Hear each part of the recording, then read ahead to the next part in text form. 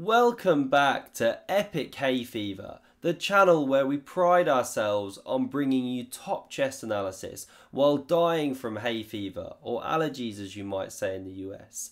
Now I'm going to do my best to make this a rapid recap so you don't hear me droning on too long, half dying before I sneeze all over the camera. But this has to be a quick one anyway because it's blitz chess. It's Magnus Carlsen with white against D Gukesh with black. It's the Norway Blitz that preceded the classical part of the tournament. So I'm looking back at some of these old classics I couldn't get to on the day. Magnus here kicks off with b3. Now stick around because not only do we see some craziness in the opening, uh, Magnus does some like Houdini-like stuff to escape a crazy pawn structure and then we get the most insane pawn race. So Gukesh, he goes e5 on the board here, one of the classic ways to already blunt the bishop. The pawn's attacked, it's defended, and now c4 sets up a Sicilian, but with colours reversed. And now d5, not the main move by miles. Normally you'd see knight f6, because now after captures, the queen has to recapture. Now it gets hit with a tempo. It retreats to e6, kind of an ugly looking square, blocking the bishop. But like said, just don't hold too much stock on the opening. This is blitz. So knight f3, don't kick on with the pawn or knight g5 hits the queen and then wins that pawn. So bishop d7 develops, aggressive intentions as we'll see, because e3 from Magnus and castles queenside.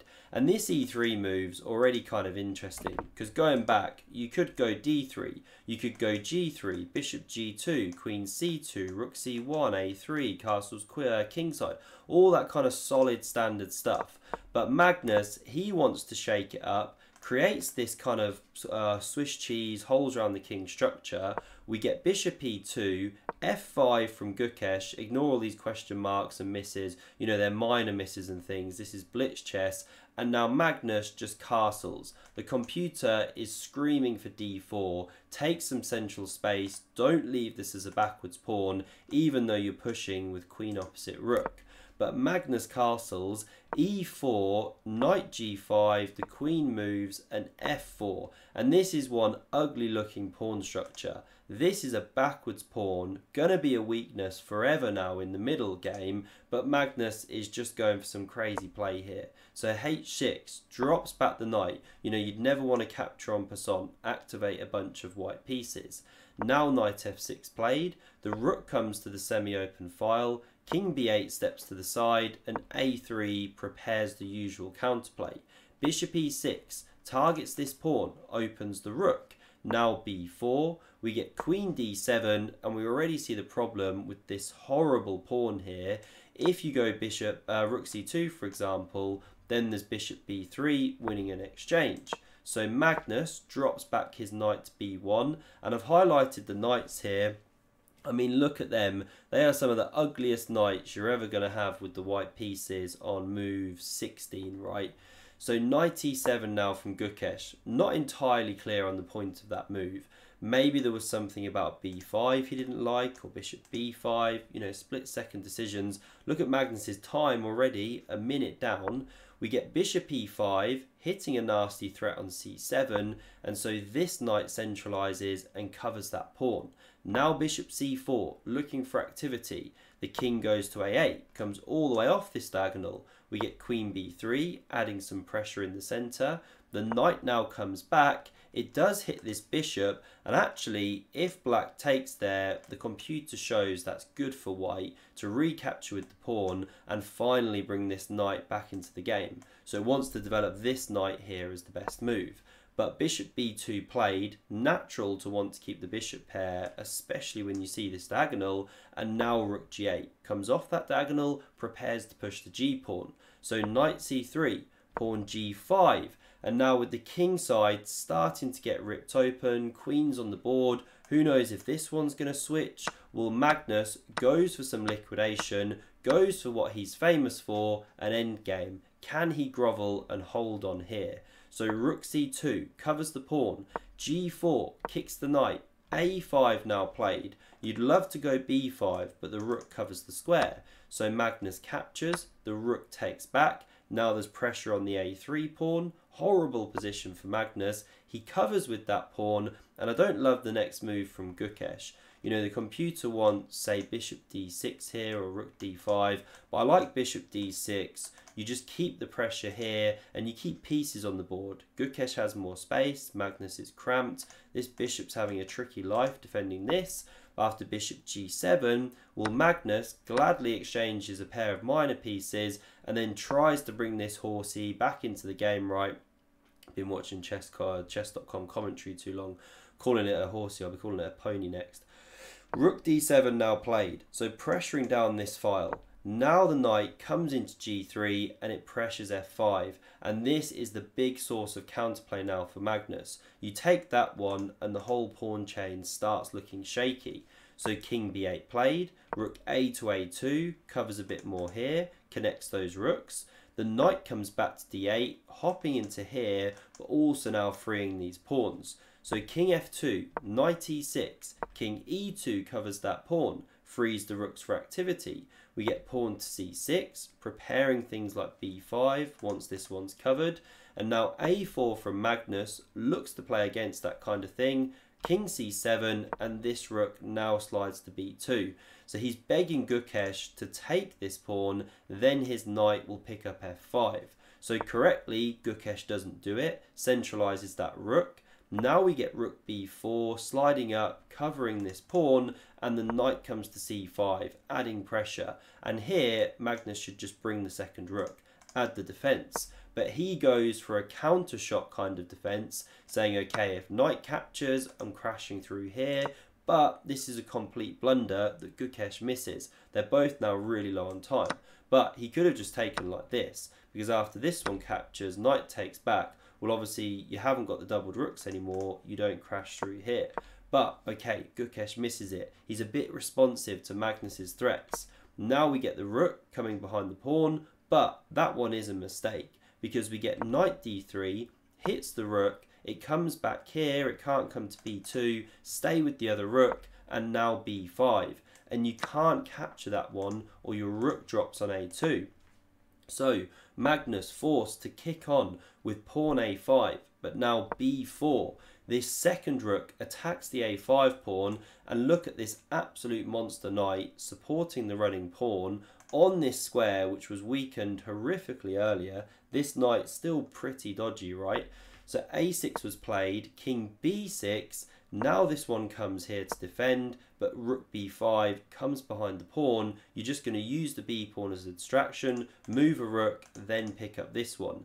Now, king d1 played, pawn b3, rook a3, the pawn carries on, rook b1. Now we see chops here, the king recaptures, knight e2, and if I pause here at king a5, it's pretty much minus 5. How is this one just not over? the knight, the pawn, the rook, the king, they're all more dominant than their counterparts. But okay, what's the Houdini stuff that Carlsen does here? Well, he centralizes the knight, hits this rook and this pawn, and in the time pressure, we see rook b6 covering the pawn. Really logical move. But what should you play? Well, king a4 is good. Because yes, you can take here, but this is just game over. The king is marching in, and if you try and bring the white king to stay with the rook, well, you can just force it away in a variation like this. With the second pawn running, you have to go, and now the rook's dropping off. You know, this is a sample line. And just coming back here, after king a4, if instead of taking the rook, white takes the pawn, well now rook c5 is a killer hitting that minor piece, but also threatening this one, and that's just game over. But Gukesh goes rook b6, understandable, but suddenly the king comes to c2, again king a4 best, but not played. We get c5, trying to get rid of that knight, but this is even worse because now the knight takes on f5. It's gone from minus 5 to zeros. The computer suddenly calls this a level position. So rook b4 now played threatening rook c4 check. That would be deadly. So knight d6 covers the square. Now the king comes this way, looking to get rid of that knight, but this pawn now drops off the board. Great tactic from Magnus Carlsen, because if you recapture, well then this knight drops, no longer defended by the pawn. then this one's dropping too. You know, you can defend, but the king comes back. That's plus two for white. So instead, we see the pawn kick on, defend this knight once again, but that's a massive pawn to have won. Now the knight comes to c3, and Carlsen's got his own running pawns. So king c5, pawn f5 played. This is a 100 move game, but stick with it. The pawn race, the best is yet to come. We get king d6, f6 played, the king comes across, rook f1, now the uh, rook comes back to b7 and knight e4 supports the pawn a bit more. You would land a check if this knight ever moves. So rook a7 now played also looks to invade with rook to a1 so the pawn now kicks on. Giving a pawn yes but distracting the rook we get takes and this is the tactic that Carlsen has seen. He checks, picks up a second pawn and because the knight is now loose well, after it goes and checks, you finally pick up the dangerous b pawn. But Gukesh is picking up these. What a wild endgame we've now got on our hands. Because after knight e1 back, d4, this one coming here, well now Carlsen is losing another pawn. This is how the game progressed. And this is the position we reached in the thumbnail. Who is winning this pawn race? Well, after pawn to g3, Magnus makes a blunder here. What was his best move to play? Well, it was moving on with the pawn with pawn d6 check. Now, if the king steps back, then the pawns carry on marching. I mean, the computer only gives this a draw, but this was the way to go. And if the king steps up, just coming here, now if knight d2, which we see in the game, pawn carrying on, knight here, hitting the g-pawn, pawn carrying on, well, now you can check with that king on e6. The king takes the pawn, you can take here, you cover the square. I mean, this is just a sample line, right? But it leads to a draw. So d6 check the move. Carlsen plays this one first, coming back to Gukesh's threats, but now pawn h3, knight f3, but not an exchange of knights. No, the knight checks from g4. Great move. The king is being shouldered away from those pawns, or shepherded away, you'd maybe say. Now the pawn carries on and the queen is just unstoppable. So Carlsen grabs the material he can and this is technically a lost endgame. But seconds on the clock, tricky knight, connected passes, anything can happen here, right? So the queen pins, the king unpins, check. Now the king back. Another queen move to attack this pawn. The pawn kicks on, the king goes, the knight comes round and more checks. Gukesh just builds up a bit of time on the clock here and then brings his queen around once more to attack this king and attack one of the pawns. Is it here? No, it's soon. Okay, at the minute he's just building up checks, right? It's hard to remember all the details of a 100 move game. The knight finally blocks that check. The king slides across and now in a moment we see the pawns kick on all the way to the sixth rank. The king steps back. Another check. Look how menacing this is getting, right? But how do you make progress? We'll check. The king comes back. We get knight d4, covering the e-pawn. Check, the king goes, and after queen d6, here Carlsen, he just had to make another king move, keep forcing Gukesh to find a winning combination or conception with queen and king. But what Carlsen does is play pawn to d7 check. And what he's anticipated here is that if the queen takes, bang, you check here, that's a drawn game. And if the king takes, same problem, but you check from f5. But what he completely forgot about, overlooked, was this takes on d7. Big smiles all round because Carlsen's just shaking his head. He resigns the game instantly. The second pawn will drop. Okay, that's a lost one. So I hope you enjoyed that 97 move game. Thanks for sticking with it. And if you want to see another epic game of chess, check out the video on screen and don't forget to subscribe to never miss a future video. Hope to see you soon.